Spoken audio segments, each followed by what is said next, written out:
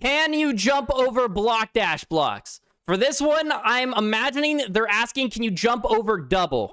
And the answer is still no. That would be absolutely broken if you were able to do that. But I'll try it again. Again. Wait. Wait, did I just... Wait, wait, wait, wait, wait, wait, wait. How did I... Wait. Wait. Huh? Is the answer yes? Hold up, hold up, hold up, hold up, hold up. Whoa! Whoa! The answer's yes? Whoa! How did I do that? Whoa!